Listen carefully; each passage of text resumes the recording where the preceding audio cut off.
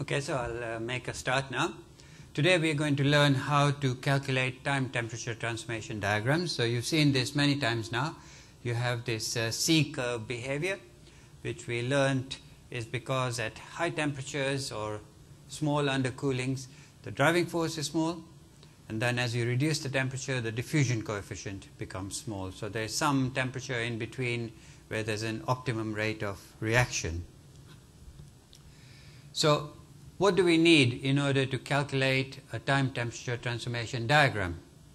Well, we need to be able to understand the nucleation of each phase, okay, the growth of each phase, and then we need to think about impingement. That means that we have particles which are growing from different locations, and eventually they will grow large enough to touch each other.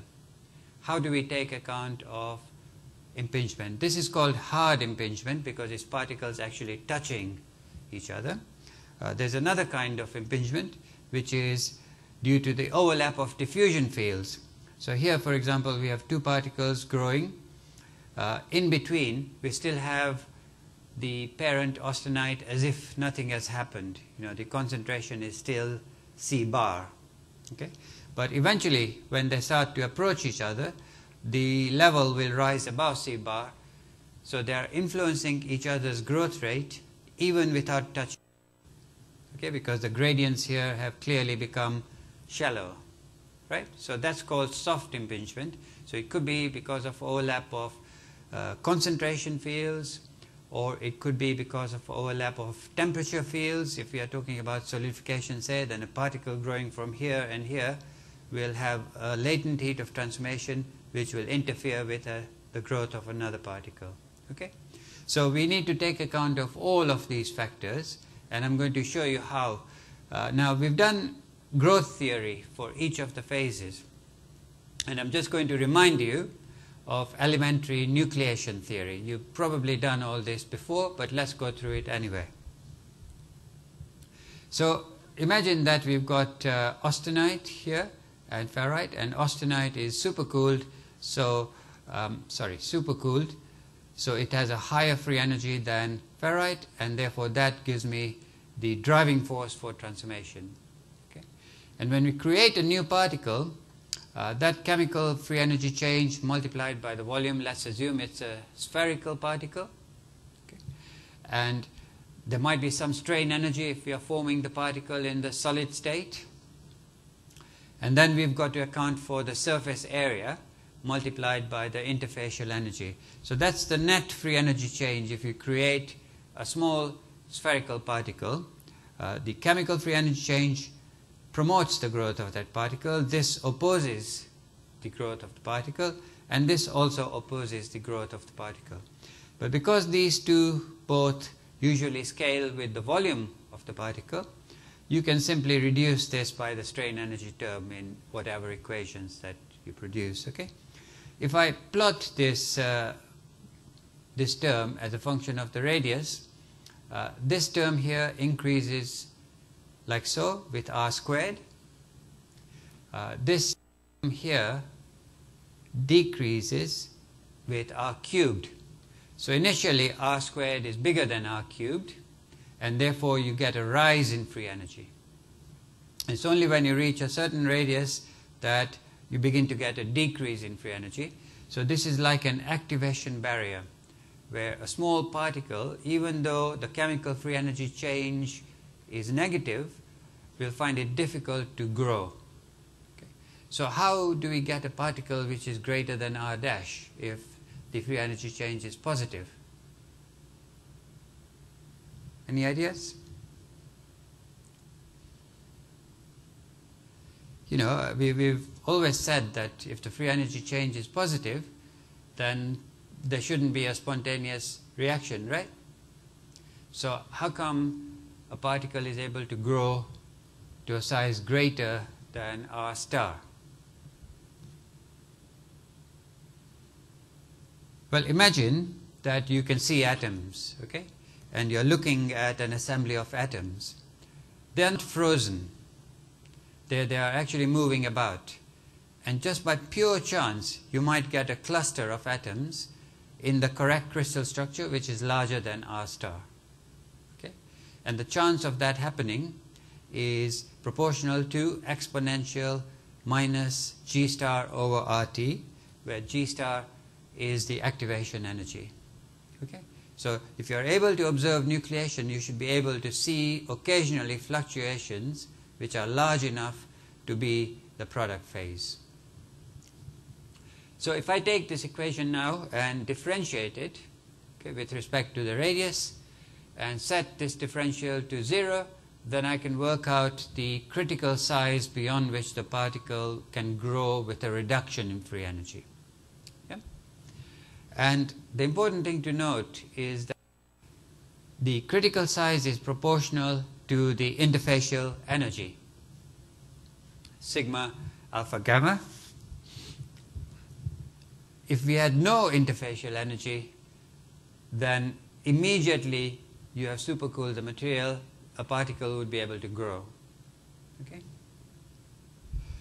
If I now take this R star and substitute it into this curve here, delta G, then I can calculate G star. So take R star, put it into this equation, which is basically this curve, and I get the activation energy G star, which is proportional to the cube of the interfacial energy. So you can see that the interfacial energy is extremely important and the activation energy is very sensitive to the interface energy. And that is the reason why we often get metastable phases forming because they are easier to nucleate than the stable phases. So can you give me an example of a metastable phase in steel which thermodynamically is less stable than another phase, but it's kinetically favored because the interfacial energy is smaller. Sorry? So the martensite is because we don't have enough atomic mobility. But what I want is an example where a phase forms in preference to a more stable phase because the interfacial energy is smaller. Sorry? Cementite, yeah. And what is the more stable phase than cementite? Graphite. So strictly speaking, graphite is uh, more stable than cementite. So there's an iron graphite phase diagram, okay? But cementite can form very rapidly uh, because it has a good interface with the uh, matrix and therefore is kind of favored. This, this is a cube of the interfacial energy. The activation energy varies with the cube of the interfacial energy. There are many, many examples. In aluminum alloys, you get a whole sequence of precipitation. So you start with zones of copper atoms, GP1 zones, GP2, uh, theta prime, and then theta. All the first three phases are not stable with respect to the final, but they have coherent or semi-coherent interfaces and therefore low interfacial energies. Okay? Okay, uh, once we've got the activation energy and the critical radius, I explained to you that the chance of seeing a fluctuation of atoms is proportional to exponential minus g star upon RT, right? That's, uh, that's the term over here. This is the chance of seeing a fluctuation which can be greater than R star. Uh, this term here is because we still need to transfer atoms across the interface. And there might be a barrier actually at the interface which influences the process of growth. And this is a constant term. This is not a constant term because it depends on the driving force, the magnitude of the driving force, the undercooling below the equilibrium temperature. And this is an attempt frequency, right? So you make many, many attempts to cross the barrier but the probability of a successful at, uh, attempt will be proportional to this term here.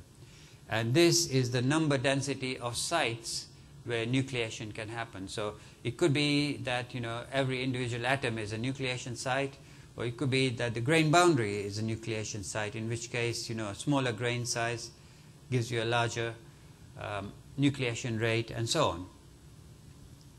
So this is basically classical nucleation theory where you have a term that depends on the cube of facial energy.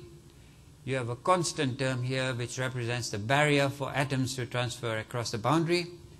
This is an attempt frequency and this is the number density of nucleation sites. That means the number of sites per unit volume. Everyone happy with nucleation theory? Okay.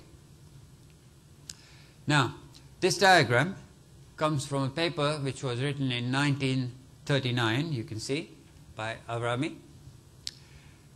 And we've done nucleation, we've done growth. Now we've got to talk about particles colliding with each other as they grow. Okay? So these areas, for example, on this diagram, which is due to Avrami, cannot be real because particles can't grow through each other.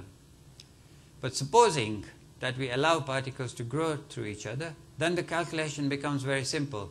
You know, you just have nucleation rate, growth rate, and you work out how the volume changes as a function of time, temperature, etc. Your answer will be wrong because you can't have particles growing through each other. But if the volume fraction is very small, then the chances of particles touching each other is also small. So in the early stages of transformation, you can ignore impingement effects, but not if the volume fractions become substantial. Or if particles are forming on a grain boundary, they will touch even if the volume fraction is not large. Okay? So how do we cope with this impingement? Avrami and some others came up with very beautiful theory, which is extremely simple to explain. And this is just to show you an example of particles all approximately spherical and the volume fraction is large so they begin to touch and interfere with each other's growth okay? So this is a glassy material which is devitrifying that means it's crystallizing.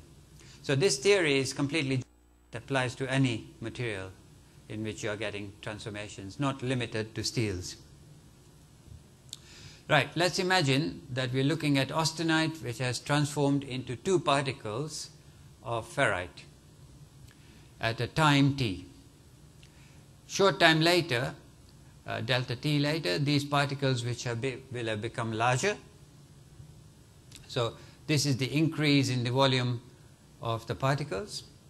And we might also have two more particles nucleating.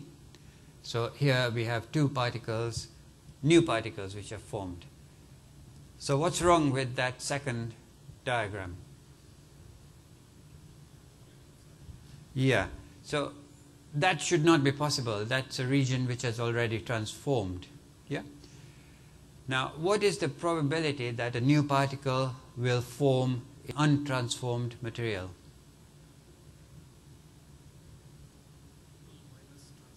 Hmm? Yeah, so it's the it's proportional to the volume of untransformed material, right?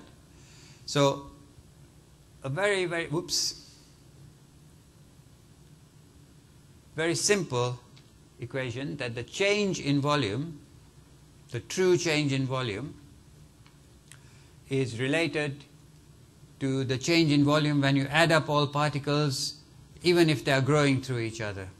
Okay, you add up all the dark blue areas in the previous slide. That is going to give you the wrong answer. Okay? Uh, so we call that the extended volume. That means you're allowing particles to grow to each other. That is this parameter here. If I multiply that by the probability of finding untransformed material, that means the volume of transformed material divided by the total volume here, and 1 minus that gives me the volume, uh, the probability of finding new particles in untransformed material. A clear relationship between the true volume and the extended volume change. Yeah? Is everyone happy with that? This is the fundamental relationship. Okay? Now, of course, uh, when we use uh, things like probabilities and so on, we are assuming that nucleation happens randomly at random locations. If it's happening at a grain boundary, you have to put a second factor, which is the probability of impingement along grain boundaries. So we have an extended area argument, and you, then change that to extended volume. But it's, it's not difficult to do. Uh, this is the change in real volume and this is the change in extended volume.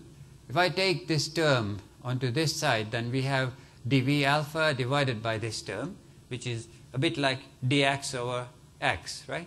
So when you integrate dx over x, you get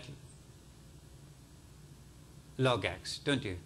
So when I do that, I get a relationship between the real volume fraction and the extended volume fraction by unlogging the integral. Okay, so this is 1 minus exponential extended volume over total volume and volume of alpha over the total volume. In other words, this is the volume fraction, the true volume fraction. Okay, so that's very very simple derivation from this. I just take this term onto this side, integrate both sides, and I will end up with the relationship between extended volume and real volume. And the problem is solved because the extended volume is a lot easier to calculate. You forget about impingement. Yeah? And just work out how many particles and how big they are growing in a certain time and you've got the volume, right? Everyone happy with that? Okay, let's uh, do the um, process. Uh, we've got these uh, roughly spherical particles growing and we've got impingement at various locations here. Uh, let's see how these particles evolve. Not all of the same size, right? Some will have formed early in the transformation sequence, other will have nucleated later in the transformation sequence. So if we were observing that system and assuming that the growth rate is constant, that means there's no composition change while the particle is growing, uh, you will see that there is a particle which nucleates at the time tau 1 Short time later, there might be another particle which will grow uh, to a size that is smaller than the earlier one, and so on. Okay, so if we were watching the system transforming, then at time tau 1 we just have one particle. Later we have another particle nucleated and this particle has grown. And similarly, we can continue this analysis. So the gaps here are not necessarily equal, but a particle does not exist before it nucleates. Yeah? So particle 1 nucleated at time equal to 1, particle 2 at time equal to 2, and so on. Right, so. Uh,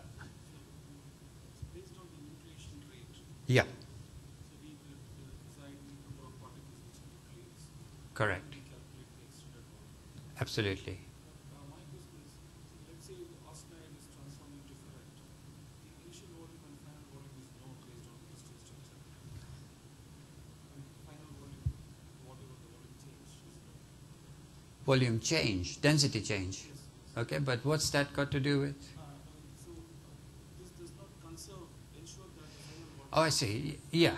So as a first approximation, assume that there is no volume change. Okay?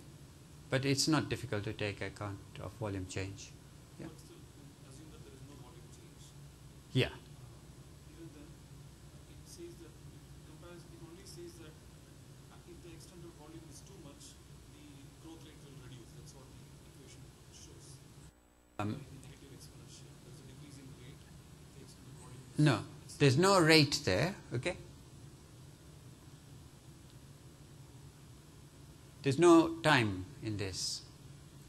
It's simply saying that if you allow particles to grow through each other, then there will be material which does not exist. Yeah. So we are not, we don't have driving force, we don't have time, we don't have temperature, anything in that. It's simply a geometrical correction.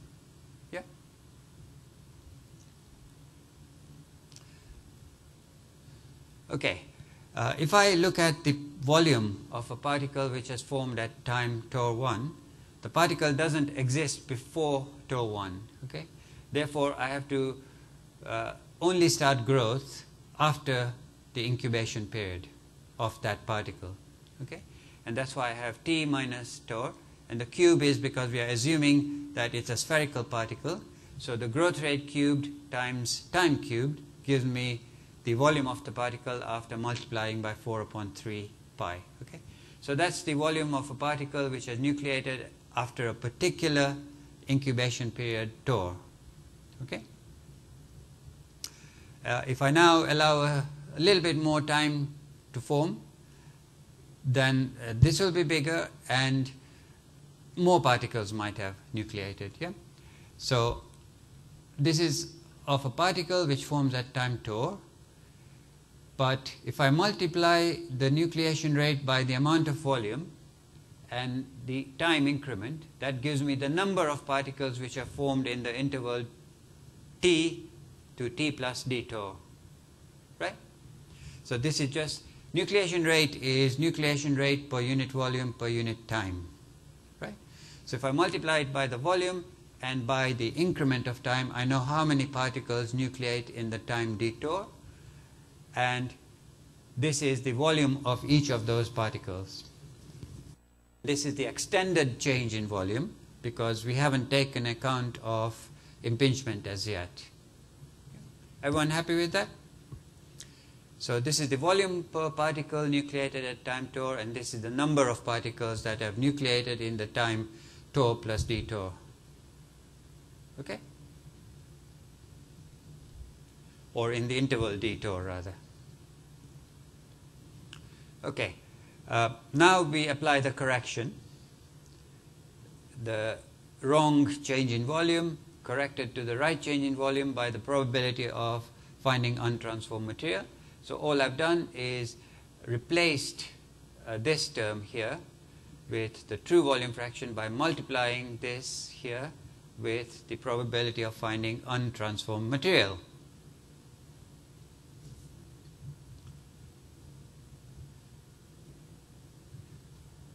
Happy with that?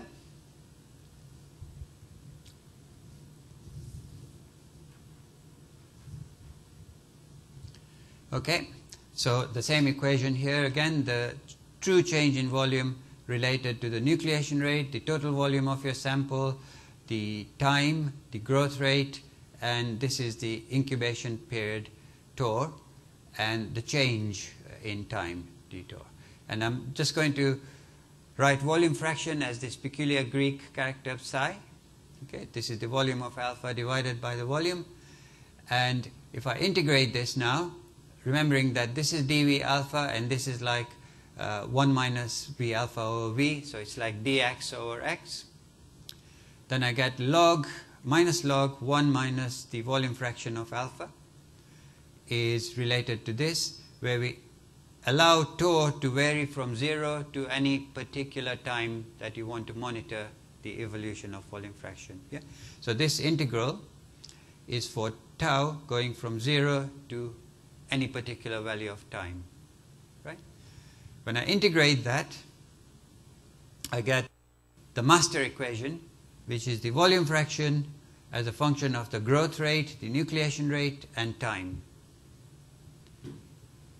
Now notice that the growth rate was constant, so the volume was proportional to the cube of time. Yeah? And the nucleation rate was also constant. Uh, so nucleation rate multiplied by time gives us the number of particles per unit volume. And notice the exponent here is 4. In other words, if growth is isotropic, then you have the 3 coming from the growth, and then nucleation rate times time, so you have another time, and therefore we have an exponent 4. Supposing that we have a constant nucleation rate and diffusion control growth, what would you expect the time exponent to be?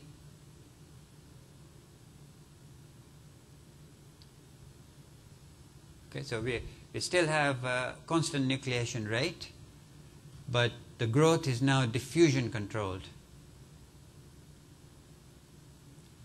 How does a particle dimension vary with time in diffusion controlled growth? Sorry? No, no. We are saying there's a constant nucleation rate Sorry? Think again, think again. Yeah, let's think about allotriomorphic ferrite. How does the dimension vary with time?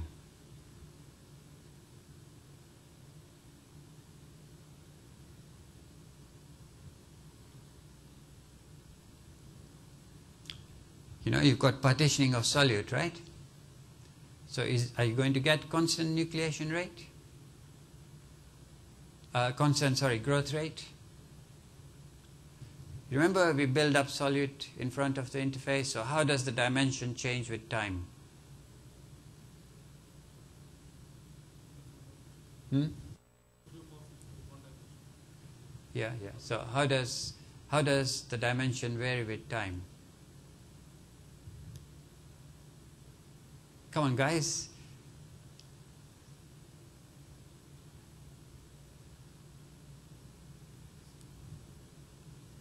What's that shape? Parabolic. Do you remember? Dimension varying with t to the power of a half. Right? So supposing you've got a sphere growing, how will its volume change with time?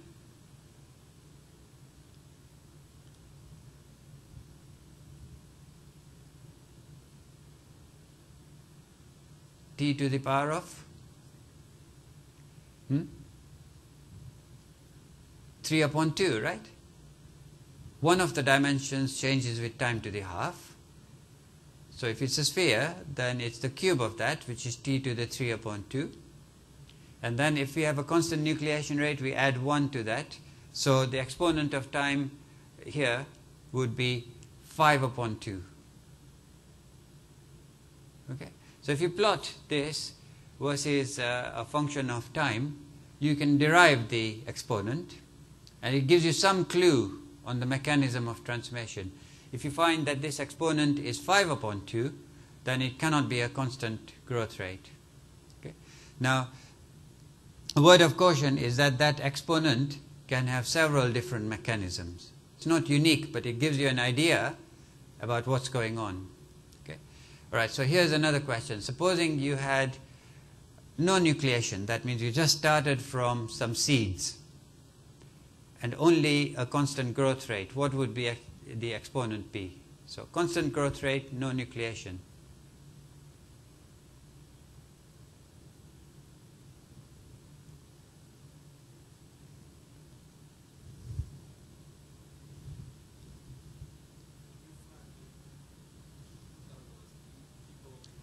Constant growth rate, yeah.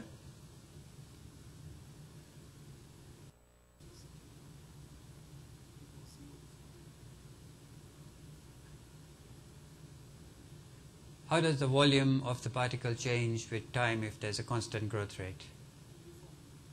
Yeah, so what's the, how does the volume change with time?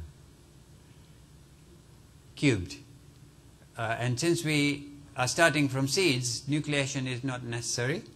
So this would be cubed. Okay.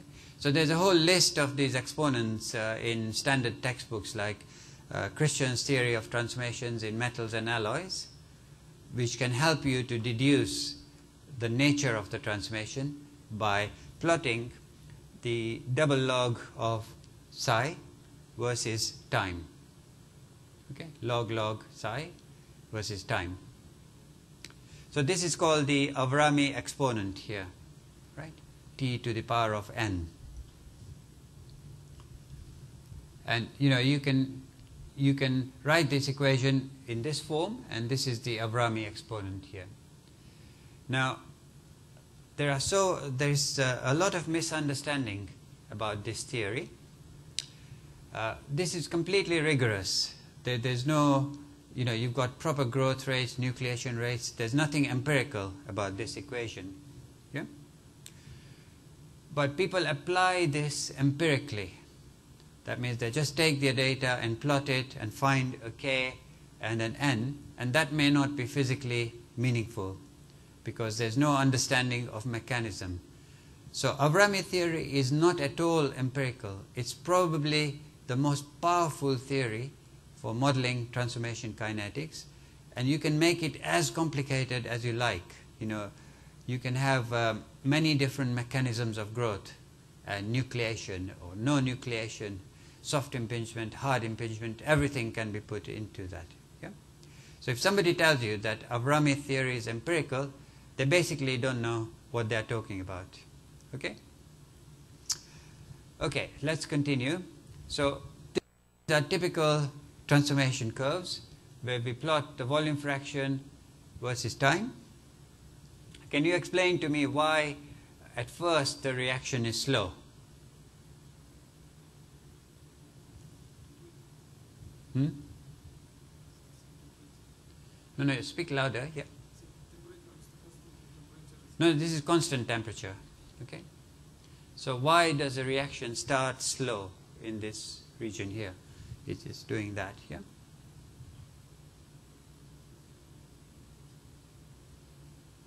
But when you have small particles, you know, they're not contributing much to volume as they grow, right? Why is the reaction slow at later stages of transformation?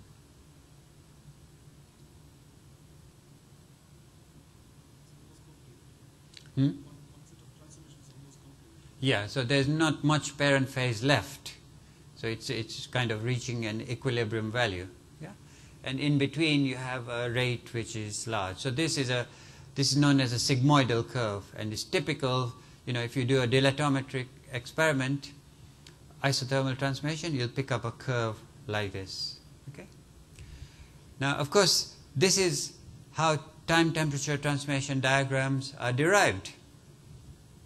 Because you could say, okay, the start of reaction is when I get 0.1 volume fraction of transformation. Uh, so here and I put that as my start time at this particular temperature. I do this experiment for different times, uh, different temperatures, and I derive the times, the start times for the different temperature and plot a curve. Yeah? Or you can calculate these curves as I've explained to you. And from this you get a time temperature transformation diagram where the C curves will represent different volume fractions of transformation. Okay so here, for example, I'm plotting the start of the reaction and the finish of the reaction. And of course, when you're doing experiments, uh, your machine has some sort of detection limit. So you have to define what start means. You know, if the amount of material you can detect is a volume fraction of 0.1, somebody else's equipment, which has a higher resolution, will have an earlier start time. Right? So it's important when you do these uh, diagrams to specify what you mean. Is this a 1% transformation time? Is it a 2%, 5%? And similarly for finish, you know, the curve is reaching asymptotically to a limit. So you can, you know, depending on the resolution of your equipment, the finish time will depend on that. So you could say 95% transformed, for example. Okay? Right. We've done uh, time temperature uh, transformation diagram and how you calculate it, but life is never simple. Okay, you don't get just one phase forming at this at any time. You might get pearlite and bainite forming at the same time, right? So how do you deal with that? Well, it's actually very simple. Supposing you've got these two particles of alpha, and later on they've grown and you nucleate two particles of beta. This equation is not sufficient any longer because it deals with just one phase. So how can I modify this theory to account for two different phases? So for either phase, you know, the probability of uh, getting true transformation is still proportional to the total amount which is untransformed. Yeah? So all we have to do is to write two of these equations, one for alpha, one for beta, and to replace this term here by V alpha plus V beta. Yeah? So here, for example, we have one equation for the change in the true volume of alpha. This is now the probability of finding untransformed material. And we will have another equation like this for beta. So dV beta will be equal to this dV extended beta. And then you have to solve those equations simultaneously. Yeah? So you allow a small increment of transformation, adjust these values, allow another increment of transformation, adjust these values. So the best way is to solve them numerically. You might have six different phases forming at the same time. Yeah? And when you do a numerical uh, analysis, it becomes very powerful because you can also change the composition of the parent phase as these particles are growing. You know, they are partitioning solute, right? So you can alter the composition of the parent as the, uh, as the material transforms. That effectively takes account of soft impingement, yeah, the overlap of the diffusion fields.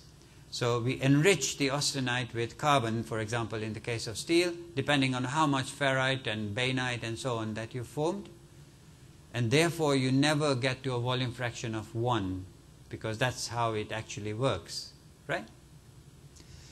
And in the case of uh, power station steels, where you use elements like chromium, molybdenum, vanadium, uh, when you put the steel into service, it has a certain distribution of precipitates, but it's operating there for 40 years at high temperatures of 600 degrees centigrade. So the precipitates change with time. And you can include all that, six different kinds of precipitates in the theory, and you don't tell any of the precipitates when to precipitate and when to dissolve. All that happens automatically through the coupling of the equations. Yeah? So just to illustrate, we have these uh, two sets of equations now, and you can have any number of these equations depending on how many transformations are possible. Okay? Uh, sorry. And instead of getting uh, a single curve for a single phase, you may get three curves, one for the total volume fraction transformed, that and that. And these two are interacting with each other. Through both the change in the composition of the austenite and through the space that they occupy. So obviously if you form beta in a particular region, you can't get alpha in that region. Or even if you formed alpha in another region, you can't get alpha in that region. Yeah?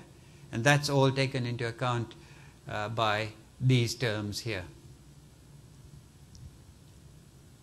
So here are some calculations where we say, uh, so this is now continuous cooling, okay? So you can adapt the theory for continuous cooling if it's a, numerical procedure, it's no problem. Just like you change volume fraction, you also change the temperature and the driving forces, right? So what we are doing is we are taking a particular steel with a 100 micrometer austenite grain size and not saying anything about when each phase will form, but we have all the nucleation and growth functions in the model. And then when you cool it at this, temp uh, at this rate, the first thing you start to get is allotriomorphic ferrite forming. Okay? Then when the conditions become right, you begin to get displacive transformations. But notice this is still growing at a certain rate. And then eventually when the carbon concentration of the austenite becomes high enough, you also stimulate pearlite transformation. So in this calculation, there is nothing about when to start pearlite, when to start Widmanstatten ferrite, when to start allotriomorphic ferrite. All that happens naturally through the coupling of equations. At these temperatures, pearlite formation is simply not possible. Okay? And similarly, allotriomorphic ferrite growth rate is faster than Widmanstatten ferrite. Okay? Because of the mobility of atoms. If I change my cooling rate, this automatically changes to a completely different form, right? We now have much more of Widmanstatten ferrite because you've suppressed the transformations to lower temperatures by increasing the cooling rate, right? And notice also that transformation happens over a much bigger range because if you have a cooling rate, then clearly you don't have enough time for transformations to happen compared with a slow cooling rate. All that is automatically captured in those coupled equations. Similarly, if I alter my austenite grain size, make it smaller, then what consequence does it have? Well, you increase the number density of nucleation sites, right? So here is now a calculation with a smaller austenite grain size. And you can see that we've basically eliminated Widmanstatten ferrite because with a small grain size, you get rapid transformation. Yeah? So allotriomorphic ferrite forms to such an extent that there's no driving force left for Widmanstatten ferrite to form. If I increase the cooling rate and reduce the amount of allotriomorphic ferrite, then I get some Widmanstatten ferrite there. Okay? So these uh, models all exist and you should be able to use them to calculate time temperature transformation diagrams not just as a function of uh, grain size and cooling rate but alloy chemistry as well you know you've got carbon manganese silicon nickel moly chrome vanadium and everything that you throw into a steel right so this is extremely powerful uh, method for calculating time temperature transformation diagrams and there's as much error involved in measuring as there is in calculations. Okay? So there's not one method is not better than the other, but they are complementary. Of course, one thing that this assumes is that there's no um, the the austenite is fully austenitic. Yeah, you're not starting by intercritical annealing, for example, or with precipitates in the austenite. All that work, if you if you need to, you you should do it and publish a paper. Yeah? Any questions?